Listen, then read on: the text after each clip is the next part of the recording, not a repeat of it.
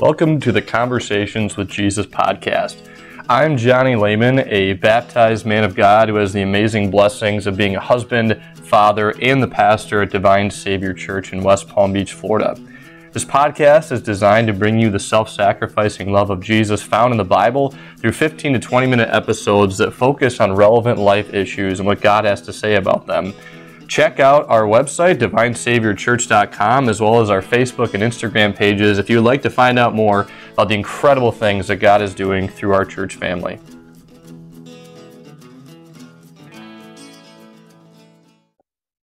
Everyone likes a guarantee.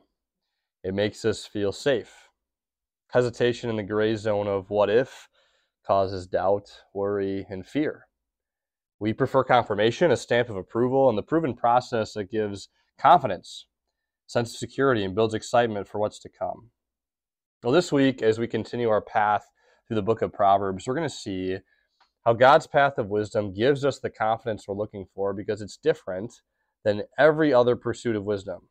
So, this week in the series, we're going to learn what that difference is, why it's important, and how it makes it easy to pursue wisdom God's way. I cannot wait to unpack more incredible truths from the book of Proverbs with you. A reading from Assorted Proverbs. Trust in the Lord with all your heart, and lean not on your own understanding. In all your ways submit to him, and he will make your path straight. The fear of the Lord is the beginning of wisdom, and knowledge of the Holy One is understanding. Through love and faithfulness, sin is atoned for. Through the fear of the Lord, evil is avoided. Fear of the Lord leads to life. Then one rests content, untouched by trouble. Who can say, I have kept my heart pure? I am clean and without sin. Do not let your heart envy sinners, but always be zealous for the fear of the Lord. There is surely a future hope for you, and your hope will not be cut off. Blessed is the one who always trembles before God, but whoever hardens their heart falls into trouble. This is God's word.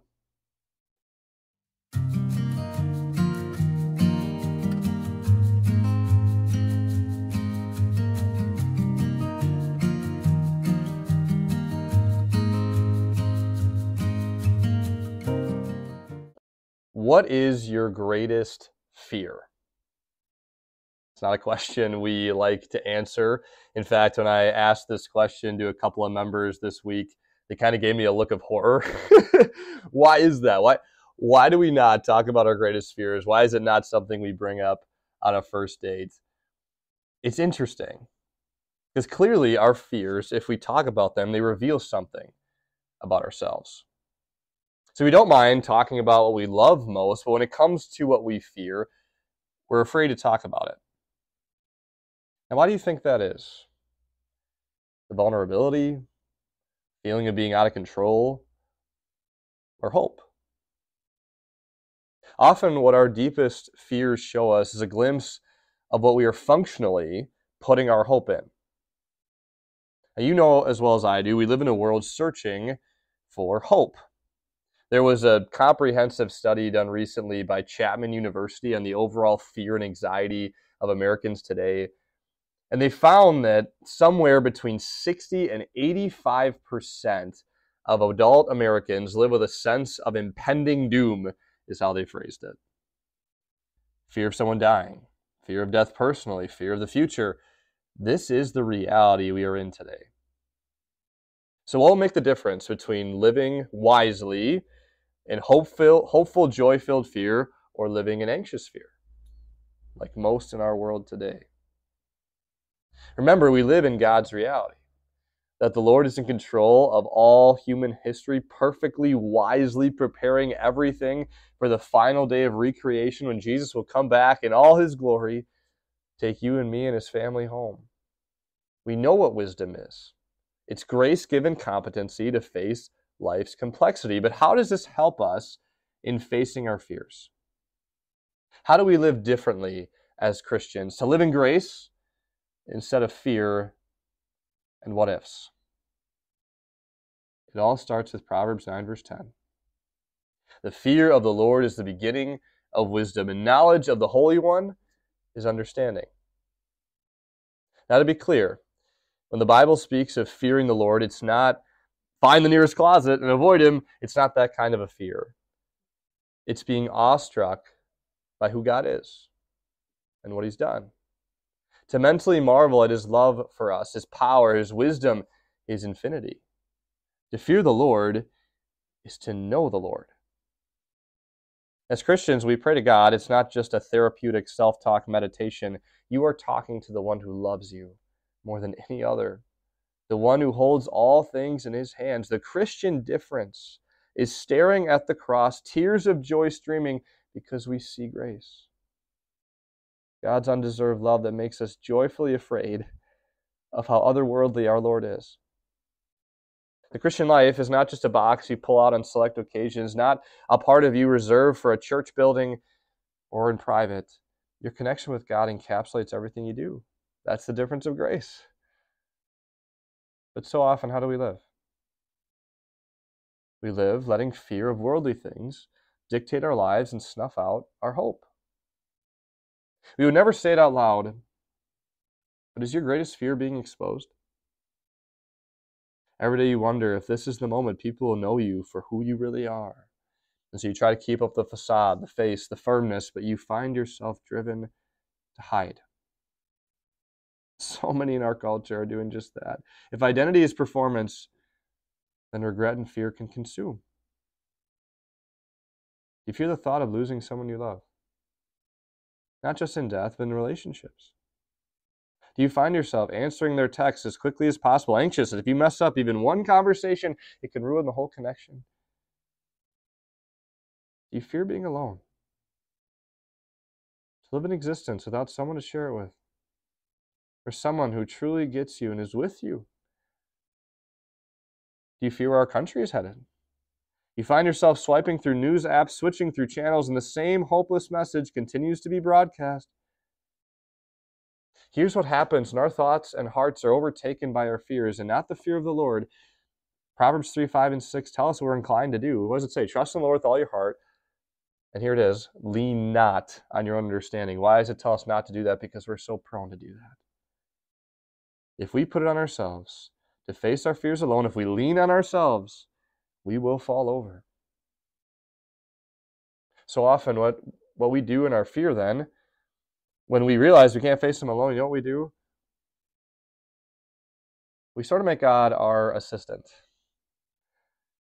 I can't tell you how many times I've done that in my life. When I face one of my fears, my fear of disappointing people, of not being the man, the pastor, the husband, the father God has called me to be, I look to God, not in awe filled, joyful fear, but in Lord, you need to bail me out. You know the ifs. If you are really here for me, Jesus, you'll take care of this. The ultimatums are so prone to put before God. Of course, you and I, we have no right to do that. What does Proverbs 20, verse 9 say? Who can say, I have kept my heart pure? I am clean and without sin. Spoiler alert, no one except one. You know him. In our sins, we truly have no business telling God what to do, but we do this over and over again. Why? So often our fears consume us, drive us, and dictate how we live in God's reality. As Christians, we're called to do what Martin Luther King Jr. once said in a sermon we must accept finite disappointment, but never lose infinite hope. And of course, only Jesus can give us such a hope. We live in fear. We play the, the exhausting what if scenario game. We don't live in wisdom, but live afraid that one day what we have will be taken, what we don't have will never be ours. And that's what Proverbs 23 17 is getting at. Do not let your heart envy sinners, but instead live in the fear of the Lord always. How do we live in such a way? How can we truly know what Proverbs 23 18 is talking about when it says, There is surely a future hope for you, and your hope will not be cut off? It comes down to one person. There's only one who can give you certain hope that calms all your fears can put your mind at ease, can give you peaceful rest at night. You know Him. You know His grace, and it completely rearranges your life. You can't help but live differently. Because remember, to fear the Lord is to know the Lord, not in some abstract ideation sort of a way, but in a concrete, real, every second affecting way. And what a blessing it is to know we have a concrete, flesh and blood, real, every sound, every second affecting Savior. You know him. He's Jesus. He knows your fears. He knows what keeps you up at night because He chose to know you. He knew what human beings have feared more than anything else. Why do possibly 85% of Americans live in anxiety over their impending doom? It's because death is just too real. Jesus knows how much we fear it.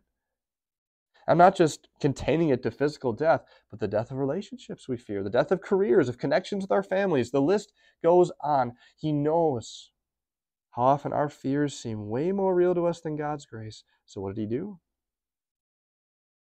He chose to become truly human. He chose to walk in the world of fear. He confronted those fears again and again, and they were the ones afraid of Him. He walked through the valley of death and not only came out on the other side, but he brought you along with him. The Lord, who's bigger than the universe, who's stronger than gravity, who's more in control than the tides. Out of loving awe and reverence of his Father, what did Jesus do? He showed us how different life is when we belong to him. And guess what?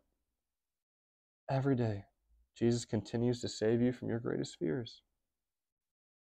As Christians, fear doesn't consume us anymore because it can't even be in the same zip code as Jesus. Fear fears him. Satan fears him. Death fears him. And because you belong to him, fear fears you. And you joyfully fear Jesus. He's the main fear, the main love of your life. And he rearranges all your priorities, all your thoughts, and every element of your day because you know him. You don't just know about him, you know personally the Son of the living God. And you know what happens when you live with the difference of grace of that amazing wisdom? Those fears that seem so concrete and that grace that seems so abstract, it flips. Your fears, even your most terrifying ones of nightmares, are really abstractions to reality. When God enters, encounters you through word and sacrament, your fears are aberrations to the reality of grace that's given you certain hope, pressure free identity, and joyful purpose. All that was given to you because Jesus didn't run from fear, nor did he play the what if game. Remember in the Garden of Gethsemane? Jesus staring down, experiencing hell in our place, sweat like blood streaming down his face. And what does he say? Not my will, but yours be done. Unconditional trust in his Father, and because we know the concrete reality of Jesus' cross and empty tomb, we unconditionally trust too. Because we know our Savior's love. Jesus looks at you through the gospel and says, Drop your conditions. Let everything go. Give it all to me, and you'll have joy to the full, even in suffering. His love truly casts out every other fear. His undeserved love, grace, leads us to live a life of joyful fear of the Lord. When we find ourselves worrying about tomorrow will bring in faith, we remember Jesus is already there. And if He's already there, we're going to be just fine. When we find ourselves nervous about exposure, we remember Jesus already knows everything about us. He still chooses to love us. We don't have to prove ourselves to anyone. When we find ourselves living in regret and what ifs, we remember the Lord's Supper. The reality of Jesus' body and blood, forgiveness there. Giving us not what if, but this is most certainly true. God loves me and He loves you. We rearrange our calendars, our thought processes, and our priorities because fear doesn't dictate us anymore. We live as God's workmanship, designed to do what He will lead us to, to do and empower us to do. Our faith is no longer a box, tucked away for select moments, but it's who we are unapologetically. As much as we will stand out like a sore thumb, especially in our context of Divine Savior in Palm Beach County, where more than two thirds of people are not Christians, we don't think twice about it. We live differently. Because we have a God who has given us a different kind of life, unlike anything in the world. His love is seen no more clearly than our rescuer Jesus, who gives us hope even in the bleakest of moments. We don't fear impending doom. We await the joy that is to come. I got to see that joy in one of our members, a sister in Christ. Her name is Eleanor Schiavone this past week.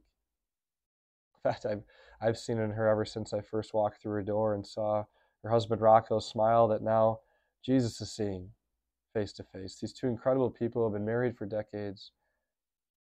The last time I got to see Rocco this side of heaven last week, Eleanor pulled me aside and said, You know, Pastor, I don't know how I'd get through this if not for the Lord. She knew then, and she knows now. No fear, no loss, no pain is bigger than Him, and she knows the hope we all have as Christians. That death is not the end for us. Not for Rocco, not for you. There are no what ifs about it, and it's not just some nice sentiment or lovely idea. It is bedrock, concrete reality. That's the difference of grace. That's the difference of Jesus. That's the confident wisdom that God has given us that makes us fear our God with unlimited joy and hope. Amen. God's richest blessings do live in that difference of grace that envelops you, that changes every situation you face in life and casts out all your fears. Because you know Jesus is near, there's no room for fear. God's richest blessings do live for Him now and always. And thank you so much for joining me in this podcast and mutually encouraging each other through our prayers that our God is for us. And if God is for us, who can be against us? Can't wait to share the gospel with you again next week.